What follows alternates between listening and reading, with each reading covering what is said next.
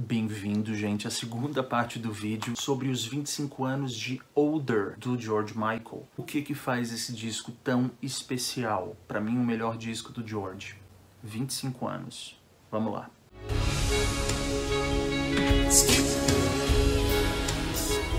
Como eu falei no primeiro vídeo, esse disco ele teve seis singles no Reino Unido e todos eles chegaram ao top 3 na terra natal dele. Ele não foi tão bem recebido nos Estados Unidos, ele vendeu só um milhão de cópias, lembrando que o primeiro disco solo dele tinha vendido 10 milhões de cópias e o segundo, 2, nos Estados Unidos. Então ele realmente estava perdendo bastante mercado. No Brasil, o Older vendeu 100 mil cópias. O Older ele abre com Jesus to a Child.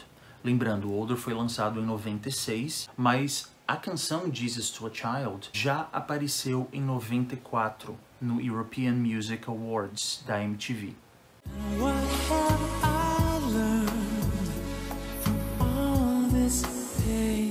Esse foi o single mais longo que o George conseguiu emplacar. Ele tem quase 7 minutos. Eu falei no primeiro vídeo que ele ter conhecido o Anselmo, o namorado dele brasileiro, no Rock in Rio de 91 e a perda do Anselmo por causa de complicações em relação à AIDS em 93 foram fatos muito importantes na vida do George. E apesar de ele ainda não ser assumido para mídia, Jesus to a Child é uma canção pro Anselmo. É uma canção extremamente triste, né, sobre ter tido um amor e tê-lo perdido. E o vídeo dessa canção foi o primeiro que teve a cara do George Michael de novo, porque no Listen Without Prejudice ele se recusou né, a, a estampar sua cara nos vídeos. Então, desde 88, ele não mostrava a cara num vídeo, agora mostrou. Os vocais do George aqui, eles estão assim, encharcados em, em reverb, e tem assim um, um violãozinho meio espanhol em algumas partes, assim, dando um, um temperinho.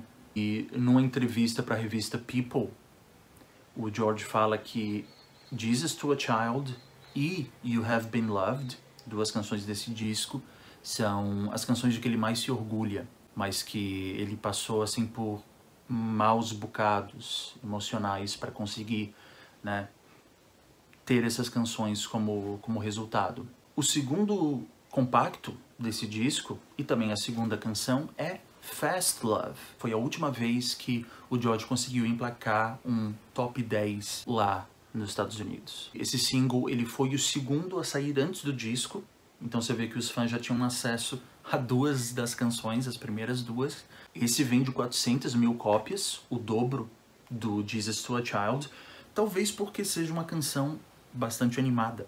O George canta, eu tive más experiências, então amor rápido é tudo que eu tenho na minha cabeça. É uma coisa de estar indisponível uh, emocionalmente, mas disponível fisicamente, que me faz lembrar uma, uma canção que eu adoro do Charles Aznavour, é, chamada Mourir d'aimer, Morrer de Amar. Ele fala uh, pecar contra o corpo, mas não contra o espírito. Depois da morte do George, a Adele, né, a cantora, ela prestou uma homenagem cantando Fast Love no, no Grammy. E no início da canção ela até ela tem o que chamam de falso início, né? Porque ela eu acho, eu acho que ou ela erra uma nota ou ela engasga e daí ela pede desculpa assim porque ela disse que o George era muito importante para ela. E que ela ficou emocionada ali, não conseguiu né? Então ela começa de novo, então canta até o final. A influência do George, por sinal, tá em vários cantores, assim, o Sam Smith, gosto bastante desse disco de 2014 do Sam Smith, ele cita o George Michael como uma das grandes inspirações dele, um dos grandes nomes. A terceira faixa é a faixa título, Older, e ela foi o quarto single do, do disco. Foi lançado em 20 de janeiro de 97, né, no ano seguinte, com I Can't Make You Love Me, que é um cover da Bonnie Wright. Older é uma coisa por si só, assim, é, ela é uma faixa um pouco mais jazzística Eu sempre achei estranho o clipe dela, que é meio desfigurado, assim, meio um western. O George chegando numa uma cidade meio abandonada, assim, de Velho Oeste. É meio assim que, tendo, tendo o disco todo em vista, é como se fosse um acorde de tensão. Digamos, ele não poderia terminar o disco com Older, né? Uh, um ex-professor de música meu falava que a gente tem esses acordes de tensão, né, que são os acordes mais feios, assim. Se você terminar uma música com eles, ninguém aplaude, porque parece que não terminou ainda, né? E Odor para mim é meio que isso. Ele é um acorde de tensão desse disco. Você não sabe bem uh, a natureza do que ele está falando. É ambígua. A Spinning the Wheel foi o terceiro single, foi lançada em agosto de 96, primeira a ser lançada depois do lançamento do disco. Chegou ao número 2, só não chegou ao número 1 um porque naquela época tava a Wanna Be das Spice Girls. Se lembra? If you wanna be my lover. Eu lembro disso aí na, na minha infância, né? Foi uma faixa que estourou aqui também.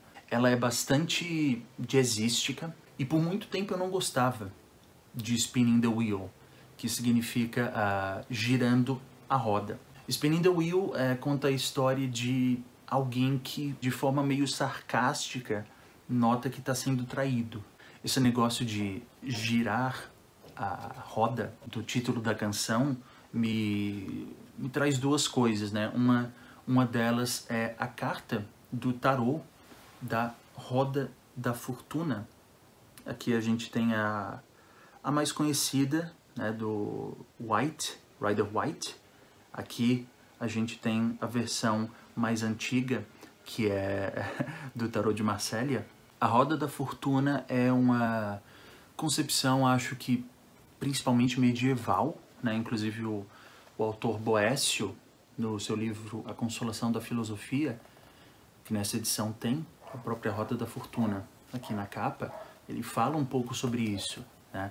A roda da fortuna é basicamente essa ideia de que, por ser uma roda, quem está embaixo, uma hora vai estar tá em cima. E quem está em cima, uma hora vai estar tá embaixo. Então, assim, você espere e veja. Tem gente que fala, né? O mundo é redondinho, o que, o que vai e volta. Essa ideia da roda da fortuna. E o George fala assim: Eu não quero alguém girando essa roda por mim. Outra possibilidade do que seria a roda, eu penso numa roleta russa, né, em que você tem num revólver assim é, vários espa seis espaços para bala, uma ou mais estão cheias. Você ao girar aquela roda, aquele tambor, você não sabe, né, se você vai ou não morrer. E, e qual é a ligação bem bem óbvia que a gente pode fazer? Nessa época, mais ainda do que agora, eu acho, por causa dos tratamentos, a AIDS estava à tona o Anselmo tinha morrido por AIDS. Eu, eu realmente não sei nem como o, o George sobreviveu a isso. Foi algo que aconteceu também com o Ney Mato Grosso aqui. Ele fala que teve, teve relações com pessoas que, que morreram com HIV, mas por algum motivo ele nunca pegou. A gente vive agora né, numa situação de pandemia também e tem pessoas que morrem, né? E tem pessoas que não sentem nada. Chegando na quinta faixa do álbum, né, a gente chega, digamos, no, no meinho, no recheio. Né? A gente já teve as aberturas, a gente ainda não teve o encerramento, a gente está no meio, está no recheio dessa bolacha. Nesse ponto, eu, eu pensei um pouco nas fases do luto, sabe? Sendo esse um disco, assim, de reação à morte de alguém amado. A gente tem na quinta faixa It Doesn't Really Matter, ou seja, não importa realmente. E é uma faixa bem passivo-agressiva, né? Uh, o som dela é bem lounge, assim, um som bem relaxado, muito gostoso de ouvir. E a letra ele tá falando, ah, não importa que é, eu tenha te amado tanto, é, nada, nada importa, tá tudo bem, né? Uma coisa realmente de negação, que é uma das, das fases do luto. Já a sexta faixa, que é uma das minhas favoritas do George, ela tem assim um, um tempero meio árabe. Para mim, ela é tanto o isolamento quanto a depressão, né? São essas duas fases meio que canalizadas numa canção. The Strangest Thing, ou seja, a coisa mais estranha. A faixa seguinte, To Be Forgiven, pensando nessa coisa do luto ainda, eu acho que é a barganha, sabe? Você está negociando com, com o que lhe foi dado. O que me faz acreditar nisso? Ele canta que a vida levou ele a lugares que ele não queria e no final ele implora para ser perdoado, se ele ao menos soubesse qual foi o pecado. Sonoramente a canção é bem, bem acústica, assim, tem uma flautinha. De novo, é, continua muito gostosa de ouvir. Esse disco ele tem maior presença de de sopros e cordas, mais ambicioso. E a aceitação acontece em Move On, a faixa seguinte. Ela começa como uma falsa gravação ao vivo, né, como se fosse uma, uma rodinha de luau, assim, a galera, vamos lá. Tem um barulho de copo, assim, ou talvez um show num bar. Né? Ela é bem swingada e ela é bastante conectada é, liricamente com a anterior, porque na anterior ele fala que a vida levou ele a lugares que ele não queria ir. Nessa fala que a vida ah, fez ele ver coisas que ele não queria ver. E que ele está esperando a mudança das estações. Então ele está plenamente ciente dessa dor, mas que é necessário move on, é necessário partir para outra.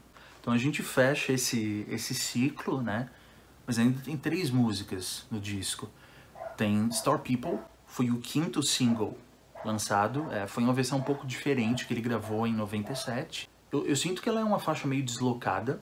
Ela, ela fala assim sobre essa Star People, né? essas pessoas estrela uh, que vivem uh, nessas engrenagens do negócio da música. O que, que você faria sem essa tensão que você tem? Pensa nas pessoas que pagaram esse teu, esse teu carro de luxo aí, essa tua mansão, né? Uh, mas ela também aponta para algo que o George falava, que era que era que as pessoas, normalmente assim, as pessoas talentosas, elas o são mais pelas coisas que elas não tiveram, talvez, do que pelas coisas que elas tiveram, né? Claro, talvez exista um talento, mas muitas vezes tem, tem uma experiência de, de uma falta, né? De uma falta de amor do pai, de uma falta de, de amor das outras pessoas, né? Uma, um, um vazio, que esse vazio, sim, é que se transforma na melhor das artes. É uma visão romântica do artista, uma visão é, talvez uh, pessimista até, como se você não pudesse produzir arte se você está feliz. É, mas também eu acho difícil negar. Né? Eu acho que boa parte da melhor das artes ela vem da perda, essa sublimação pela arte. Né? Tô aqui com, inclusive com a uma camiseta estampando a Amy Winehouse. Outro exemplo né, de uma pessoa que sofreu muito e fazia canções sublimando esse sofrimento. A penúltima faixa do disco, que né, fica, fica bem estranho vindo de uma, uma faixa tão swingada e tão animada quanto Sore People, é You Have Been Loved, talvez a faixa mais triste do disco.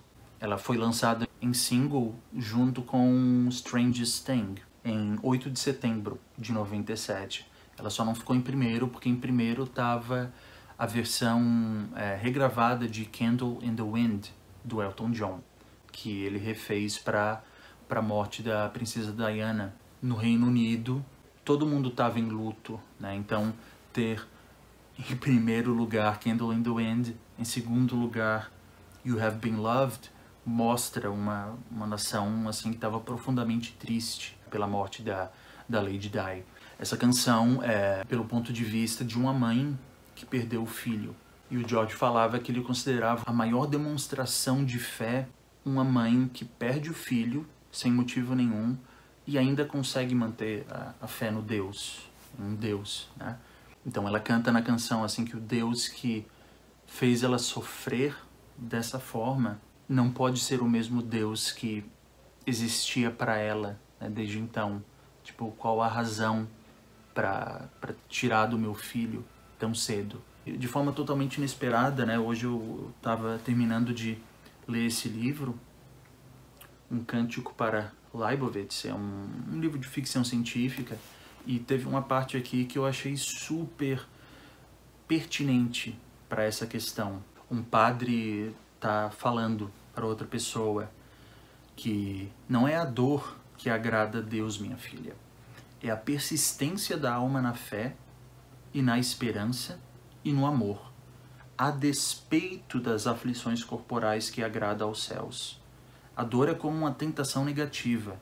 Deus não se agrada com as tentações que afligem a carne. Ele se agrada quando a alma se eleva sobre as tentações e diz: Fora, Satã. É a mesma coisa com a dor, que muitas vezes é uma tentação para se entrar em desespero, para sentir raiva, para perder a fé.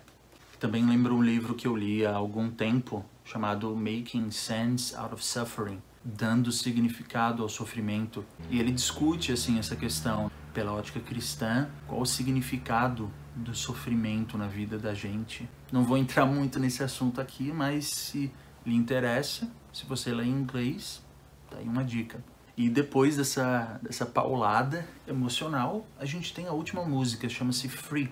É uma canção estranha, né? Ela só funciona se você ouvir o disco inteiro até lá. Ela não é uma canção que funciona por si, porque ela é meio que uma coda, é um pós-fácil de tudo que aconteceu no disco. E passa por melodias das diversas canções que a gente, teoricamente, se ouviu o disco inteiro, acabou de experienciar. E daí no final, conforme a faixa vai sumindo, ele fala: é bom ser livre. Fica aberto a interpretações, mas é um bom final pro disco. E daí eu vou dar uma passada bem rápida por pelo que ele fez depois de 96. Um disco de covers em 99, se eu não me engano. Tem uma versão lindíssima de Roxanne do Police. Em 2004 ele lançou o último disco de estúdio dele, que foi o Patience. Certamente dos discos de estúdio dele, assim, é o que menos teve repercussão, mas eu não acho, eu não acho um disco tão menor assim. Ele tem faixas muito boas. E assim, os lançamentos finais dele, fora fora alguns singles, foram o DVD e Blu-ray Live in London e o último de todos foi o Sinfônica, que ele gravou assim em casas de espetáculo de ópera, né? E com essa coisa da de uma sinfonia, né, por trás no arranjo. Eu ainda espero que isso aqui saia em DVD, Blu-ray, vídeo algum dia, porque eu acho que existem é, imagens assim da da gravação. E 2016 foi o ano em que o George morreu. E sinceramente, assim, é o artista de quem eu mais sinto falta dos que morreram. Só falando em 2016, assim, a gente teve três grandes mortes, pelo menos para mim. Foram David Bowie, o Leonard Cohen e o George Michael. Uh, já fiz um vídeo, na verdade dois, né, sobre o Leonard Cohen aqui nesse canal. Mas assim, o, o Leonard Cohen já era, já era um senhor, né? Ele já era velho. Tem uma discografia grande, a mesma coisa com o David Bowie. Mas o George, ele tem quatro discos solo. Então ficou, ficou assim essa esse sentimento de que faltou coisa. Ele não podia ter morrido ainda. Ele planejava um disco de bossa nova, né? Inclusive o Older, eu não falei, ele é dedicado tanto ao Anselmo quanto ao Tom Jobim. Ele fala, o Tom Jobim que me fez ouvir música de um jeito diferente e ao Anselmo que me fez descobrir a vida. E ele planejava também um disco de música dançante. Então, assim, eu, eu realmente sinto falta demais do George Michael. Eu não sei o que que ainda tá no baú, né, que a família dele tá guardando. Eu sei que tem coisa, porque até uma das minhas canções favoritas do George, que é This Kind of Love, são meio que sobras que talvez fossem integrar o Listen Without Prejudice 2, que não rolou por causa da briga com a Sony, isso nunca foi lançado e é uma das minhas canções favoritas. De qualquer maneira, gente, 25 anos de Older nesse final de ano, a gente vai fazer 5 anos sem o George. No final de Older, né? É, é bom ser livre. Ele, ele tá livre. Ele tá livre dessa existência em algum lugar. Mas a gente não tá livre da saudade. Muito obrigado, George. E muito obrigado ao meu amigo turco Ekin não sei se estou pronunciando corretamente, mas obrigado a ele pela ideia de fazer um vídeo sobre o George Michael. Obrigado a vocês por assistirem. Se vocês gostaram, se inscrevam, aquela coisa do YouTube. Eu também estou no Instagram, onde eu posto todo dia alguma coisa que eu estou ouvindo, lendo ou vendo. Beleza? Muito obrigado e até breve.